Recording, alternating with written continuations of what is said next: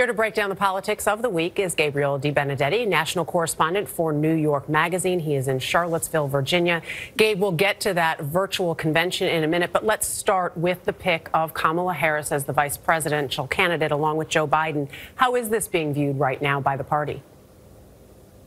Well, most people in the party are pretty excited about this. There was a lot of apprehension because, of course, Joe Biden did take quite a long time to make his choice, but in the end, it was in line with traditional timing just before the convention. Harris, of course, is a historic pick as the first black and first Asian American uh, person on a ticket, uh, the first black woman, I should say, on the presidential ticket. And while she is a fairly liberal senator, she is pretty much within the center of the party in many ways. So I think a lot of people were pretty excited to see her added.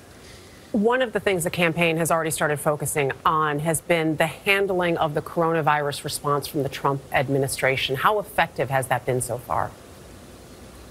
Well, if you look at the polling numbers, the Biden team and a lot of Democrats would say very effective in the sense that Joe Biden does tend, to have a fairly large lead here. But it isn't because he's been doing all that much work really on that messaging. It's really because of the president's handling itself. This is the overwhelming crisis that's uh, everyone is dealing with right now, whether you look at it as a healthcare issue or as an economic issue. These all wrap together. And of course, when we have tens of millions of people out of work, uh, hundreds of thousands of people dying, and many more sick, it's sort of an inescapable thing thing, and naturally the election is going to be then viewed as a referendum on the president.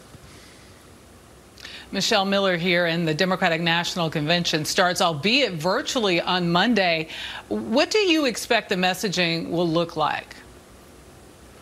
Well, Joe Biden's messaging has actually been fairly consistent from start to finish when he launched his campaign. He said, always said that this is the battle for the soul of the nation. And it's not very subtle. Of course, what he's saying is we have to take the country back from Donald Trump, in his words. But one thing that we're going to see is a really wide spectrum of speakers. You have John Kasich, who's, of course, a former Republican governor of Ohio who ran against Donald Trump, speaking on the same night as Bernie Sanders, who's, of course, as progressive as they come. So what the messaging really is going to be is you don't have to be a liberal, you don't have to be a progressive to vote for Joe Biden. You have to just not like what's going on right now. There's going to be a lot of messaging about restoration of the soul of the nation, in Joe Biden's words. Yeah, messaging on range there. It's it's becoming increasingly clear that this election will be unlike any other. Mail-in ballots and the postal service itself are at the center of this political yeah. debate. So will Trump's hardball approach there uh, have political repercussions?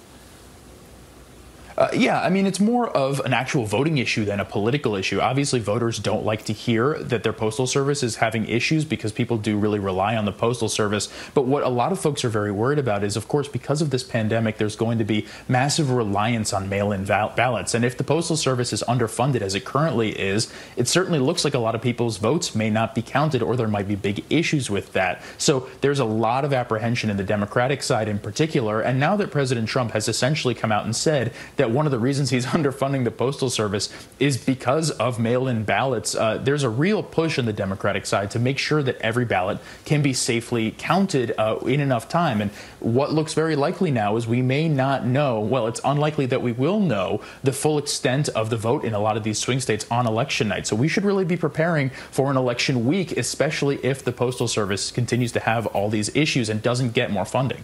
Okay, Gabriel DeBenedetti from New York Magazine, thank you very much. Appreciate it.